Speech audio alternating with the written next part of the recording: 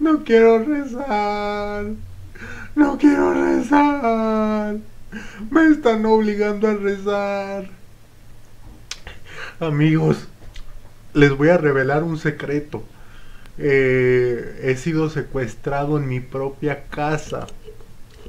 Estoy haciendo este video mientras en estos momentos el Papa Francisco no está aquí adentro eh, en mi casa, eh, en mi hogar.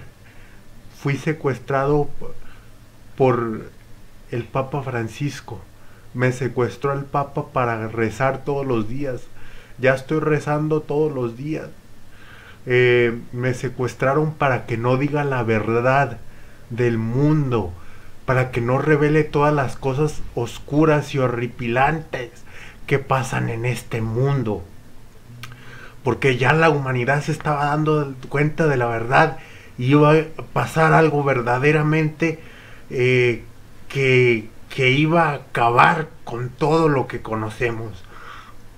Y por eso hace unas pocos eh, horas unos hombres entraron, a, bueno esto sucedió en la madrugada, 30 hombres entraron a mi domicilio y me han estado obligando a, hacer videos. Esto quiere decir que si ustedes ven a eh, videos en los que alaba el Papa y los que diga que la religión es muy buena y hay que hacer todo lo que ellos dicen, es porque el Papa Francisco me está obligando a hacer estos videos.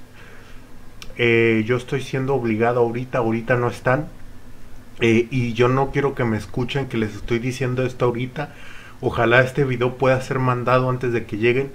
Porque me, si esto pasa, seguramente me van a poner un castigo ejemplar por estar revelando esta información. Eh, y bueno, el Papa Francisco me obliga a rezar todas las 24 horas del día. Me dice que esto es para que se me salga el demonio, que porque estoy endemoniado, eh, y que esto es un ejercicio espiritual, eh, pero en realidad es para otra cosa.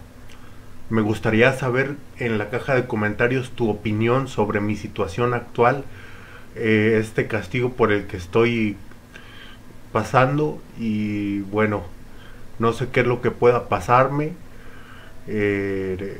y ahí, ahí vienen, ahí vienen, voy a cortar aquí el video, voy a cortar.